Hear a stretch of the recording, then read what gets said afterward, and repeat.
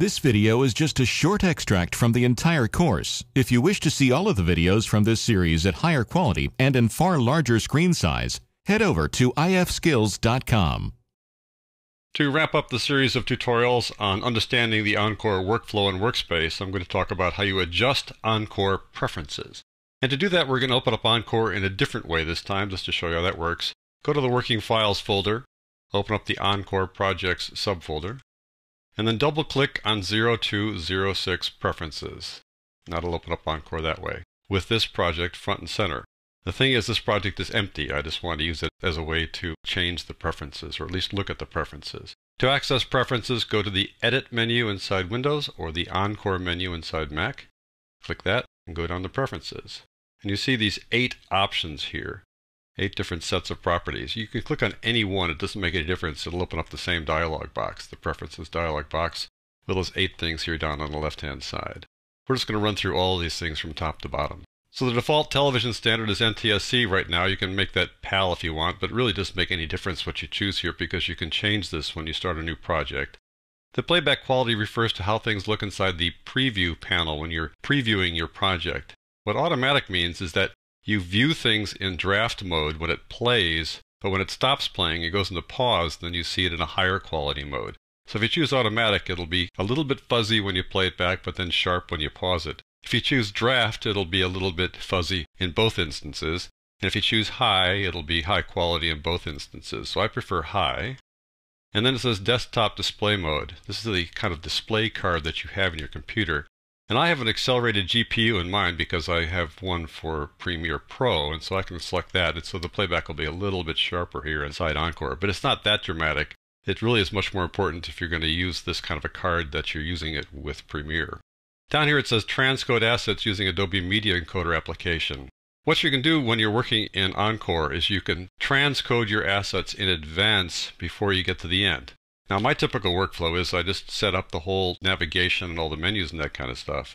And then I go build the DVD or the Blu ray or the Flash project. And when I do that, I transcode all the assets that need to be transcoded at that point, and I just have it done automatically inside Encore. I go out of the room and go get a coffee or something because it takes a while to do all the transcoding.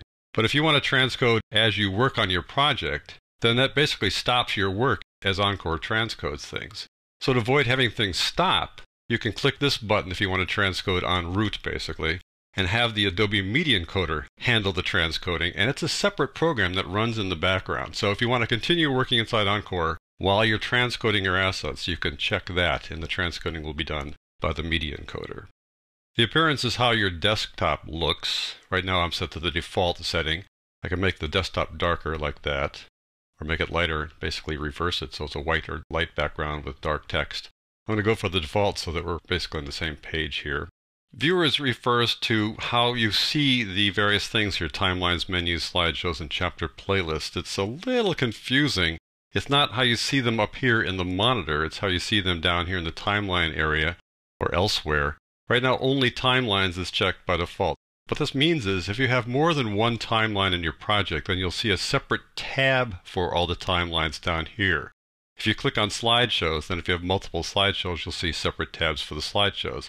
If it's unchecked, then all these slideshows will be stored inside one tab with a drop down list. Same thing is true for menus. When you view menus up here inside the menus viewer, you could have multiple tabs if you wanted to to go from one menu to the next, but the default workflow is generally to have all the menus in one tab, so you have a little drop down list here for all the menus. Same thing for chapter playlists as well. So the default way I think is fine. You have separate tabs down here for your timelines. You have one tab for slideshows. Usually don't have more than one, and this is a good way to do things. But you can have multiple tabs if you want to do it that way. Show tooltips is fine. That means when you hover over something and there's a tooltip for that, the tooltip will show up.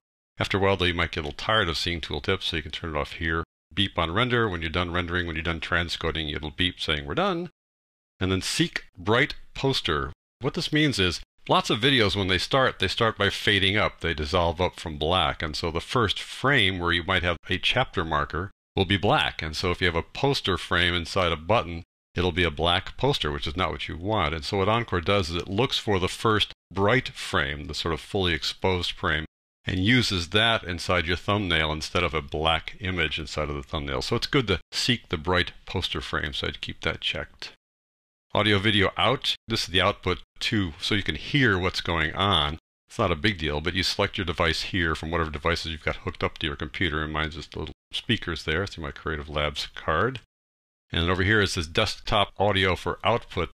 Accept that, or you go to Adobe DV. Adobe DV is something new now for Encore. What Adobe DV does now lets you hook up an IEEE 1394 or FireWire connection to your computer to a monitor.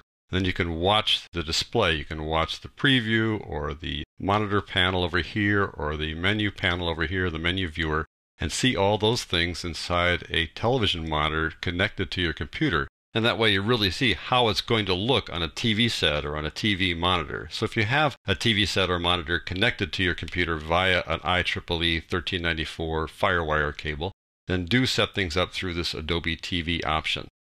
And disable video output when in background, that means when the program is running in the background and you've got something else going on, you turn off the display to the monitor. Media is just where you store your library content. By default, it's stored wherever you stored the Adobe Encore CS6. There'll be a library folder over there. If you click on it, you'll see if you scroll down a little bit. There's Encore. There'll be a library folder inside wherever you stored Encore. But if you want to put the library assets, which are the guys that show up over here, someplace else, feel free to do that. And then you can connect them via this location here. We'll take the media cache files and the media cache database. We'll just accept the defaults for that. These are temporary storage places for things as you're working on them inside Encore.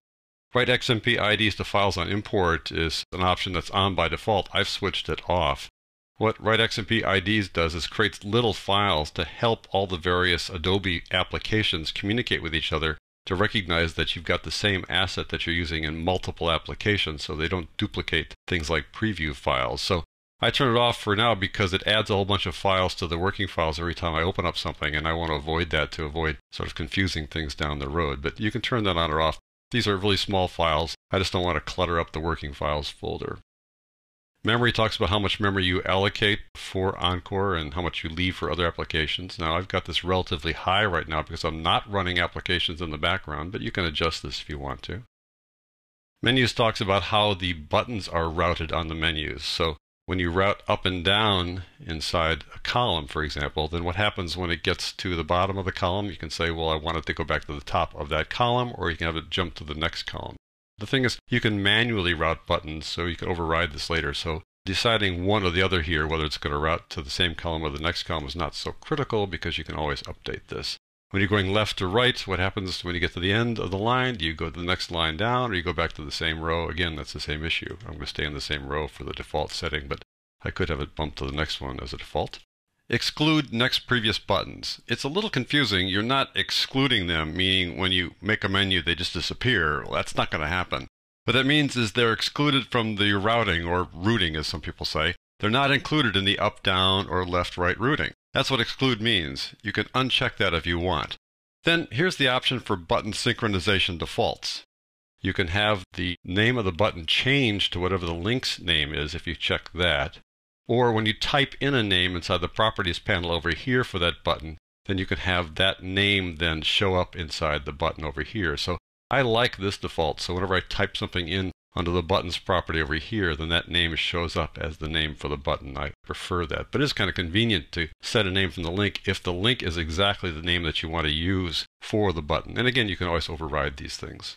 So the preview defaults are how things look inside the preview monitor when you're previewing your project.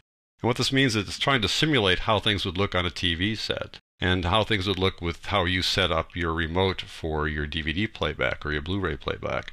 And so if you're watching this in North America, if you're watching it in English, you would probably have these be the defaults when you played it back. But if you're in some other country, you can change these guys as the default view. So if you have subtitles running inside your project, you may want to change them to a different default. And notice these are the defaults for all DVDs so that when you click the subtitle button on your remote, you can access them by the language. And the preview quality playback is high here, and I just keep it at high. Finally, the timelines, it's similar how do your timelines open up when you open up a new timeline? You know, we've got a still image duration of six seconds, so we add a still image to the timeline. It'll last for six seconds, but you can change that if you want. Subtitles, same kind of a thing. What's this default audio language? Again, I'm working here in North America, so I set mine to English for subtitle and language. How many audio tracks will show up when I make a new timeline? Just one, but I can change that to add more. But I can always add more audio tracks later. how many subtitle tracks show up. Right now it's zero because I don't normally add subtitles, but I can always add a subtitle track. This is just how the default timeline looks when you open up a new timeline. So that's a brief rundown on the eight different options here inside the Preferences panel. My guess is you'll accept the defaults for most of these things, but there are a few things you might want to do to customize your workspace.